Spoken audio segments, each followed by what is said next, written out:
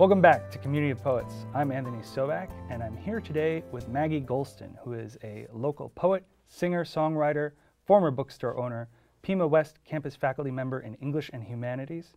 Her poetry publications include Spork, Core Press, Printers Devils, sorry, Printers Devil Review, and Ploughshares. She was the founding arts editor of the Tucson Sentinel. She has an MFA from the University of Arizona. She was a National Poetry Series finalist and is a two-time Pushcart Prize nominee. Welcome, Maggie Golston. Thank you, Anthony. So I wanted to start today with uh, some questions from my online poetry students who uh, have submitted a series of questions for our poets today. Um, and the first one is, uh, is generative. Like, what inspires you as a poet? Where do you look for your inspiration? Well, I don't really look any one place in particular, and I think it's really important to sort of democratize the content that goes in. I think that that's a response to the world we live in. And so, whereas Ezra Pound would sit down and read histories of archdukes of wherever, maybe I'm watching RuPaul's Drag Race with a yellow pad um, in my hand. Maybe I'm listening to records that inspire me. Maybe I go to um, a powwow. Um, you know, wherever it is that that I am, I think it's important to remember that I'm a poet all the time. And the advice that I give my students, and that was given to me, was if you are a practicing writer, you never don't have a pencil. Mm. And What's really cool is since I was a student, because of smartphones, we all have an ability to take notes in our hands at all times. So I think we really want to be sort of porous to the world. And that can be tough because if you're being porous to the world and you turn on CNN, that can feel like poison going in you. Mm-hmm. Um, so, but I think it's important. So, to, one quick follow up yeah. question. So, how does that jive with Emerson's the poet needs to stand in for, for the the complete person as if we were I feel like what you're saying is we're not incomplete people, but you know, we we all have those experiences that are worthy of poetry, right? Absolutely. And also, I think that Emerson's notion of a complete person is sort of undermined by everything we know since. Um, the idea that of a romanticized poet self who is somehow elevated or whose inspiration is completely intrinsic um, has come to feel a little bit exclusive. Mm-hmm. And um, it's no accident, I would think, that Emerson was a man of a white man of means. Um, the more popular culture is sort of denigrated by poets the further poets run from a world that's alive and toward a world that's not alive. Now, that's not to say, oh, don't read poetry. Who wants to read poetry? No, everyone should read Emerson. In particular, the essay Circles mm-hmm. for Poets is a wonderful resource.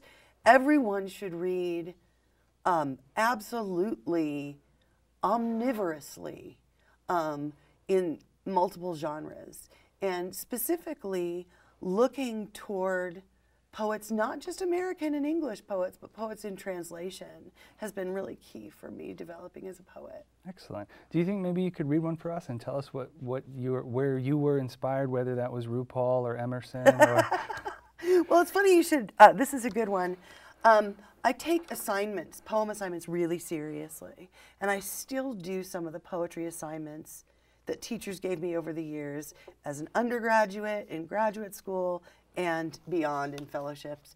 Um, this poem came from an assignment that I really resented initially, which was to go to the zoo and write a poem about the zoo. This person obviously liked Rilke and and Blake and wanted that kind of a mm-hmm. poem. So I went to the zoo and I was really kind of miserable at the zoo. It was still summer and I was in Salt Lake City and mm-hmm. I didn't know anybody, so I was walking alone at the zoo, which is intense. And what I came out with was partly inspired by the zoo, but it was also inspired by the fact that I was watching one of my favorite movies, Pulp Fiction, for about the 12th time. Um, this is a poem called Muted Inverted. The movie begins, lions roar, the dream end of a world. What is closer to us, penned swan, caged beauty, prescription? What is not natural in an age like this? What is long dead, twice removed? Cygnus, olor, mute, swan, curve of a neck meant to indicate fermata, class, a turning out of a degree dangerous and redolent with cruelty, the way anything we love can be cruel. In the distance imprints its bell, the hollows beneath a face's flushed contentment. What we love, lightness. Admire encasement, bird, not feathers. Gods are birds. Understand that goodness often hides behind a man's most brutal act, a lie inside a lie. The movie girl, what pleases to the eye and hand so different. Barest tragedy phrased only here in nights of clarity and violence. Boxing husband, perfect teeth, his going down. In this scene, underneath the lover's banter, is the floor of the cage. Shit, feathers, bullets, remnants at the edge of the edit, the end of the dream which goes forgotten, ugliness. What is wretched is closed to metaphor, this clumsy swan, and gone, sure beauty, knowledge of its virtue undone. Thank you. Of course. I um, this sort of goes with another po- another question, sort of tying it in and, and adding a spin here. So uh, you know, you go to the zoo, you, you know, you take it in. Um, presumably, you revised at some point. Yeah. So my, student wants to know how do you know when you're finished? How do you know when you've got it? How do you know that the poem has all of the parts that the poem needs? That it has that beauty, that it has that juxtaposition, that it has that turn. Um, and I, I obviously threw some words in there that you can feel free to edit out. But Well, I have some bad news for your students. Mhm. And that is that there's no one way to know when anything's ever done. Uh, as long as we're going back to the American Romantics, Walt Whitman revised one of the greatest poetry books of all time, Song of Myself, something like 30 years after he first published it. So um, we have this tradition um, in poetry, and specifically in American poetry, of the idea that something is always in progress. So Marianne Moore, modernist poet, um, famously said, "It's a draft until you're dead," and she also republished.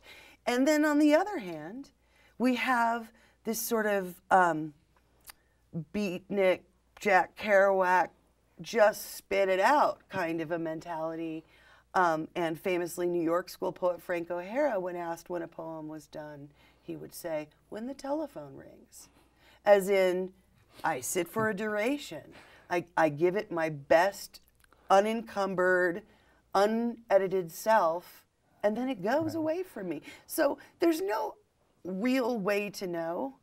And I think that in a way that can be really daunting for students. My poetry students are often concerned, more often, that they think it's done and that I'm telling them to revise it for a portfolio at the mm-hmm. end of the semester. And, you know, I, I, I just have this terrible news for them, which is that you can always go back.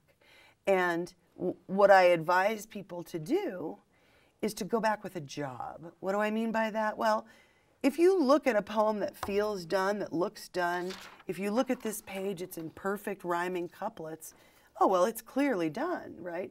But maybe it's not. And so I would go in with a job to do. For example, I'm only going to look at modifiers. I'm going to look at my adjectives and my adverbs and make sure that they really need to be there. Or I'm going to only look at the enjambed line breaks and make sure I'm breaking the line at the strongest point. If you have a specific job, then you can revise any number of times mm-hmm. with that mission in mind, and then you can complete that mission so that you do feel like you got from A to B. I like look at the real estate of the poem because everything is very valuable that, Absolutely. to make sure that it's being, being used at. Do you think maybe you could read us another poem and, and perhaps talk a bit about how you went back to it at a certain point? Sure. Um, okay. This is a poem that I think I may still be working on, even though it's several years old. Um, it's a poem that came from notes that I wrote while traveling. If you can travel as a writer, you should.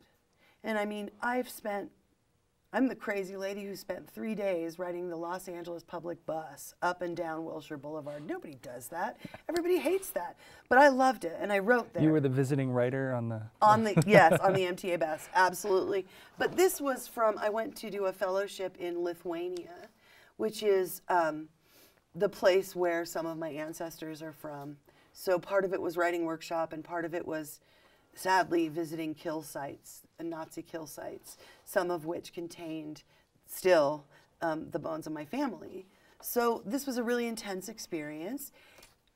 And I brought it back. I brought the notes back um, from Lithuania and combined them with some things I was thinking about um, in the age of SB 1070, and I guess now, as I revise it, in the age of Donald Trump.